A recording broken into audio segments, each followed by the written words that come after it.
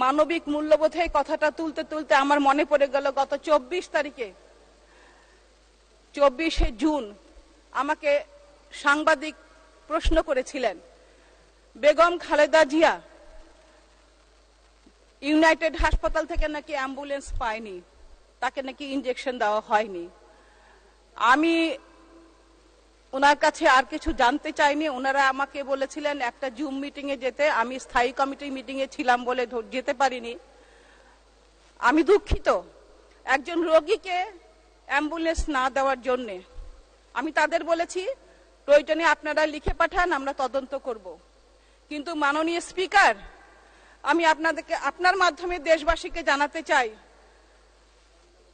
আমি একুশে আগস্টে ঢাকা মেডিকেল কলেজে কাজে, ঢাকা মেডিকেল কলেজের চিকিৎসক না হওয়া সত্ত্বেও সেখানে কাজে গিয়েছিলাম। কেন? আমি তেইশ বঙ্গবন্ধু অ্যাভিনিউ থেকে ঢাকা মেডিকেল কলেজে এসেছিলাম। আমি খুব ছোট্ট করেই বলব, কারণ আমাদের অনেক সময় কম থাকে, অনেকেই আছেন। মাননীয় স্পিকার, আমার খুব কষ্ট লাগে। আমি আইভি রহমান, আইভি চাচিকে নিয়ে দুয়ারে দুয়ারে ঘুরেছি।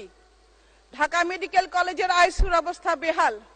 বঙ্গবন্ধু শেখ মুজিব মেডিকেল ইউনিভার্সিটিতে আমি আইভি চাচিকে নিতে পারিনি। সেখানে নাকি নিয়ম নাই। তারপরে আমাকে যখন খবর দিল যে এক- একটা আইসিইউ পাওয়া গেছে সিএমএইচ এ, আমি সিএমএইচ এর দিকে অ্যাম্বুলেন্স নিয়ে চলে এসেছি। আমি জাহাঙ্গীর গেটে আসার সঙ্গে সঙ্গে আমি এক ঘণ্টা আমি জাহাঙ্গীর গেটে ছিলাম। মাত্র কয়েক কদম গেলে খালেদা বেগম খালেদা জিয়ার বাসা। তার কানে পৌঁছায় নাই। তখন মানবিকতা কোথায় ছিল আমি সাংবাদিকদের বলতে চাই এবং সব দেশবাসীকে জানাতে চাই মাননীয় প্রধান মাননীয় স্পিকার। আমি খুব কষ্ট পেয়েছিলাম।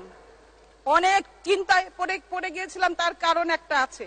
মাননীয় স্পিকার, এক ঘণ্টা পরে যখন আমাদের অনুমতি দেওয়া হলো, আমি অ্যাম্বুলেন্স নিয়ে চলে গেলাম আইসিইউর গেটে। আমি ওইখানে থেকেও দেখলাম আমাদের প্রায়, ওইখানেও এক ঘণ্টা সময় লেগেছে আইসিইউর দরজা খুলতে। আমি অনেক চিন্তায় পড়েছিলাম, তার একটা কারণ ছিল। আমি অক্সিজেন নিয়ে একটা মাত্র অক্সিজেন সিলিন্ডার ছিল। ঢাকা মেডিকেল কলেজে আমি ওইটা নিয়েই আমি অ্যাম্বুলেন্সে করে ওনার শ্বাস প্রশ্বাস নিয়ন্ত্রণ যেমনি ভাবে আমাদের মেডিকেল সায়েন্সে করে করতে করতে আমি কিন্তু সেইখানে গেছি। আমি চিন্তা অন্য কাউকে করতে দিই নাই।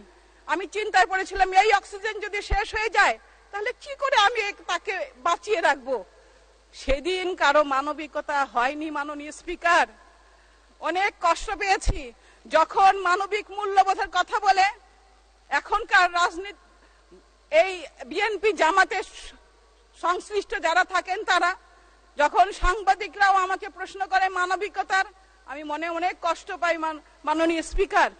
আমি অনেক পরে তারা দরজা খুলে দিলে আমি তাকে নেই। আমি আমার সঙ্গে আরেকজন দেবব্রত বলে ডাক্তার ছিল, তাকে বললাম দরজার মধ্যে ধাক্কা দে।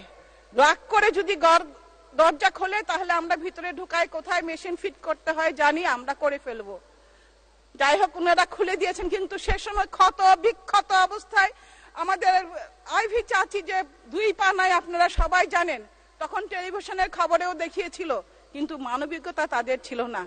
এই একুশে আগস্ট নিয়ে আমার অনেক বক্তব্য আছে মানুষ স্পিকার অনেক লম্বা বক্তব্য।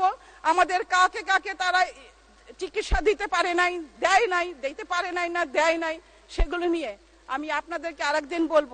তবে আমি আপনার মাধ্যমে জানিয়ে যেতে চাই, যারা মানবিকতার কথা বলে, আল্লাহর ওয়াস্তে নিজেদের দিকে তাকিয়ে, এর আগে যে কর্মকাণ্ডগুলি করেছিল, গণতন্ত্র উত্তরণে আমার নেত্রীকে এতবার মারবার চেষ্টা করে, আওয়ামী লীগকে মেরে ফেলবার জন্য যে ষড়যন্ত্র তারা করেছিল বঙ্গবন্ধুর সময় চার নেতাকে মেরে, ট্রাকে হামলা করে, নেত্রীকে মেরে ফেলবার যে চেষ্টা তারা করেছে, কিন্তু তারা পারেনি।